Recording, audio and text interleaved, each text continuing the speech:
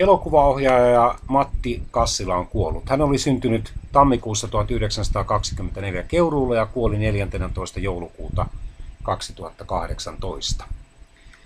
Hän oli paitsi elokuvaohjaaja myös elokuvien käsikirjoittaja. 1950- ja 60-luvulla luvuilla hän oli huomattavimpia suomalaisia elokuvan tekijöitä. Hänen tunnettuin työnsä lienee Komisaario Palmu elokuvien sarja. Muita maineikkaita ohjauksia ovat Radio tekee murron, Sininen viikko, Elokuu, Tulipunainen kyyhkynen sekä Ihmiselon ihanuus ja kurjuus. Kuollessaan oli siis 94-vuotias. Ähm. Hänen koulunkäyntinsä Haapamäen yhteiskoulussa Keuruulla, siis Keski-Suomessa, keskeytyi toisen maailmansodan aikana. Hän palveli ensin vapaaehtoisena ilmantorjuntatehtävissä ja määrättiin sitten alokas koulutukseen, mutta kurkkumätä epidemian aiheuttamien sydänhäiriöiden vuoksi hänet vapautettiin rintamapalveluksesta. Ylioppilaaksi hän pääsi sodan aikana vuonna 1942. Jo sota-aikana hän oli näytellyt Varkauden työväen teatterissa ja vuonna 1944 hän sai näyttelijäharjoittelijan paikan Helsingin kansanteatterissa. Vuonna 1946 hän siirtyi elokuvayhtiö Suomi Filmiin, jossa hän työskenteli muun muassa ohjaaja Valentin Vaalan järjestäjänä ja kuvaussihteerinä. Vuonna 1948 ohjaaja Edwin Laine järjesti Kassilan alan suurimman yhtiön Suomen filmiteollisuuden palvelukseen. Siellä hän työskenteli ensin lyhyt elokuvaosaston hoitajana siirtyi seuraavana vuonna Edwin Laineen apulaisohjaajaksi. Vuonna 1949 hän sitten siirtyi itsenäiseksi elokuvaohjaajaksi oltuaan Edwin apulaisohjaajana elokuvassa Aaltoska organiseeraa 1949. Tuloksena oli komedia Isäntä soittaa hanuria 1949, Kassilan ensimmäinen pitkä elokuva. Ähm, Suomen filmiteollisuuden tapaan Kassila työskenteli nopeasti kahden elokuvan vuosivauhtia. Elokuvien aiheita usein käsikirjoituksetkin tulivat valmiina tuottaja Särkältä. Kassilan läpimurto elokuva oli kepeä rikoskomedia Radio tekee murron 1951. Menestyksen innoittamina Kassila, Tarkas ja kuvaaja Osmo Harkimo perustivat oman elokuvayhtiön Junior Filmin ja tekivät elokuvalle jatko-osan Radio tulee hulluksi 1952, joka sai myös hyvän vastaanoton. Kassila sai parhaan ohjaajan Jussin kahtena peräkkäisenä vuonna 1954 draamasta Sininen viikko ja 1955 komediasta Isän vanha ja uusi. 1955 Kassila kiinnitettiin kahdeksi vuodeksi Porin teatterin johtajaksi ja 1957-58 toimi Helsingin kansanteatterin johtajana. Kassilan Fennada-filmin elokuviin kuului kaksi huomattavaa romaanisovitusta. Frans Emil Sillanpään elokuu 1956, jossa talon isäntä on alkoholisti tai ainakin juomisongelmainen. Se toi hänelle neljännen ohjausjussinsa sekä Ilmari Kianon Punainen viiva 1959, joka kuvasi sitten näitä ensimmäisiä nykyaikaisia eduskuntavaaleja Suomessa vuonna 1907. Jo anteeksi, elokuussa tämä päähenkilö on kanavanvartija Viktor Sundvall, ja hän sitten kuolee tuossa tuon elokuvan aikana tai lopussa. Keskeisiä teemoja ovat alkoholismi, itsensä pettämiä ja elämättömäksi jäänyt elämä. Ähm. Lasi sydän vuonna 1959 oli äh, järjetön komedia loppuun palamisen saaneesta lasitehtailijasta. Se ei menestynyt. Sen jälkeen Kassila joutui kääntymään jälleen äh, Suomen filmiteollisuuden ja Toivo Särkän puoleen.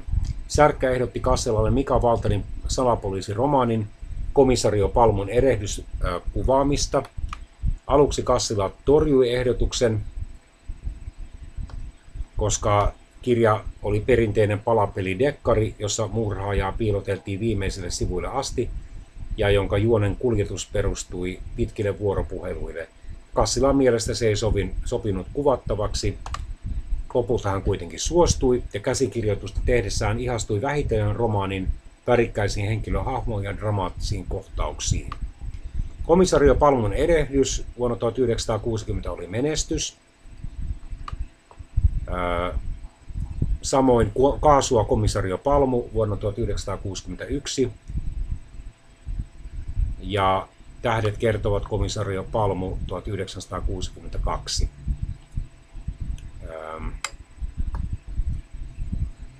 Kassila palasi vielä 1960-luvun lopulla filmaamaan neljännen palmu, mutta sillä ei ollut mitään tekemistä lepäisit jo haudassa käsikirjoituksen kanssa, eikä mikä Valtari ollut enää mukana.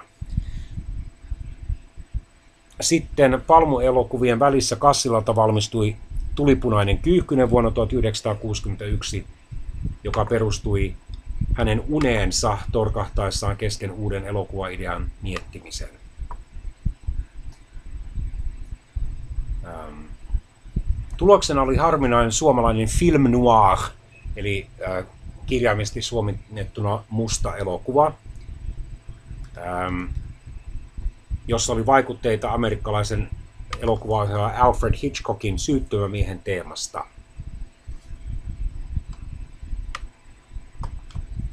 Television tuloja vuonna 1963 alkanut kahden ja puolen vuoden mittaiseksi veninyt näyttelijä Lakko luhistivat vanhan studiojärjestelmän. Suurin studio Suomen filmiteollisuus ajautui konkurssiin vuonna 1965 ja muutkin joutuvat supistamaan tuotantoa rajusti. Tilalle astui itsenäisten nuorten elokuvan tekijöiden uusi aalto.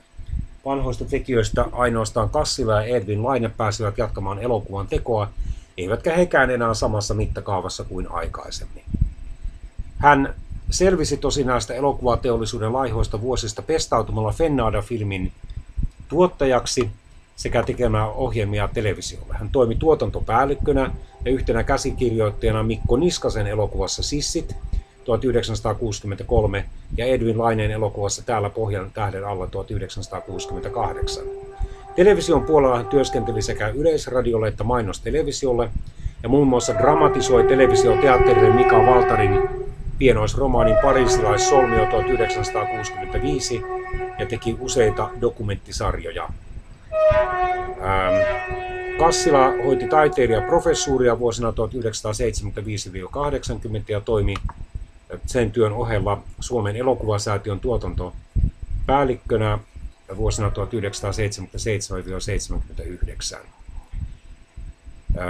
1960-luvun ähm, pahimman aallonpohjan mentyä ohi Kassila palasi ohjaamaan pitkiä elokuvia, tehden sekä draamaa että komediaa ja uudelleen lämmittäen vanhoja aiheita, mutta ei onnistunut enää yltämään lähellekään vanhoja yleisöä arvostelumenestyksiään.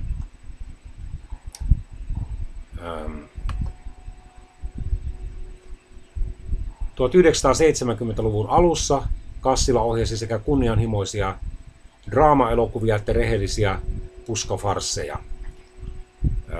Elokuvat Päämaja 1970, pääosassa oli Marsakka Mannerheim, Haluan rakastaa Peter 1972, Aatamin puhussa ja vähän Eevankin 1972. Meiltähän tämä käy 1973, joka rakentui Esa Pakarisen Pekka Puupää hahmon ohella hänen toiseen kuuluisaan hahmoonsa Severi Suhoseen. 1970-luvun loppupuolella Arto Paasilina kirjoitti Kassilalle elokuvakäsikirjoituksen. Tuloksena oli Natalia, 1979, jossa komediassa Natalia-niminen venäläinen lehmä eksyi Suomen puolelle ja elokuvassa seurattiin niitä huvittavia romanttisia sattumuksia, mitkä seurasivat, kun Natalia lehmää palautettiin takaisin Neuvostoliittoon. Ja sellainen yksityiskohta on, että minäkin sen verran olen näitä ikävuosia jo saanut, että keväällä 1987 näin tämän elokuvan Suomen televisiosta, että olikohan se päivänä, jolloin olin ö, sairauden takia poissa koulusta tai jonain toisena päivänä. Ja muistan se esimerkiksi sen takia, että vaan muutaman kuukauden tai parin kuukauden kuluttua, eli heinäkuussa 1987 muutin sitten perheeni kanssa Kanadaan. Kassilan 1980-luku meni elokuvasovitusten parissa. Niskavuori 1984 oli Hella Vuolioen kahden näytelmän yhdistelmä Niskavuoren naisten ja Niskavuoren leivän yhdistelmä. Jäähyväiset presidentille 1987 perustui Pentti Kirstilän dekkariin. Siinä Hannu Lauri näytteli mielipuolta, joka suunnitteli presidentin sanan murhaa. Vaikka presidentin nimeä ei mainittu, hän muistutti Kekkosta. Ihmisellä on ihanuus ja kurjuus 1988 oli Kassilan toinen sillanpää filmatisointi, jonka tuottivat Matti Ollila ja Päivi Hartzell sekä Neofilmi Oy, tai yritys oli Neofilmi Oy. Elokuva sijoittui yhteen päivään elokuussa 1939 Suomen viimeiseen rauhan kesään ennen toista maailmansotaa. Kirjailija Hongisto eli Lasse Pöysti, siis näyttelijä oli Lasse Pöysti, poistui yllättäen kotoaan, karkasi kenellekään mitään sanomatta ja meni tapaamaan vanhaa nuoruuden rakastettua, jota näytteli Liisa ja Laaksonen. Suomessa elokuva sai neljä Jussi Patsasta ja voitti Ranskan Juanissa parhaan Pohjoismaiden sen elokuvan palkinnon.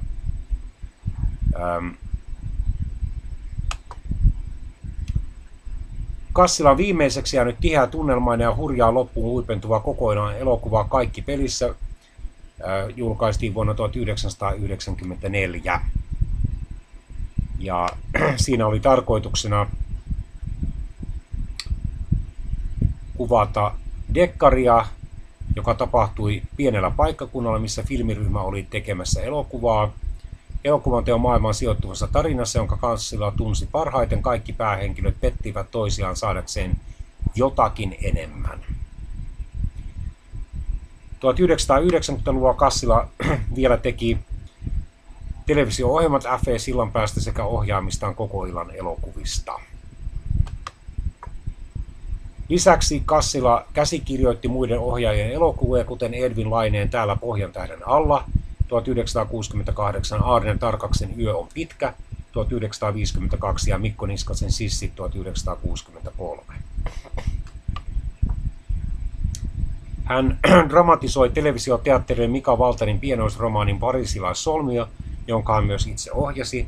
Pääosaa TV-elokuvassa näytteli Keijo Komppa, jonka tunnetuin tämmöinen, äh, voisiko nyt sanoa vakavampi rooli oli presidentti J.K. Paasikivenä.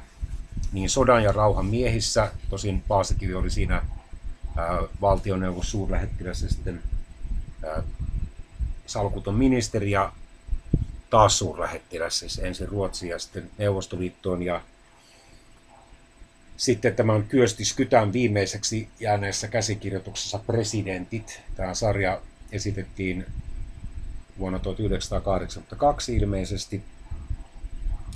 Niin siinä Keijo Komppa myöskin näytteli Paasikin. Kassia, Kassila toimi myös kirjailijana ja oli mukana kirjoittamassa 12 osaista Suomen kansallisfilmografia kirjasarjaa. Hän avioitui näyttelijä Aino Mansaksen kanssa vuonna 1948. Avioliitto päättyi Mansaksen kuolemaan. Tästä liitosta syntyi neljä lasta. Matti Kassila avioitui sitten kuvaussihteeri Kristiina Laurentin tai Lohanin kanssa. Ja tästä avioliitosta syntyi yksi poika. Silloinen tasavallan presidentti Tarja Halonen myönsi Kassilalle professorin arvonimen toukokuussa toukokuussa 2011.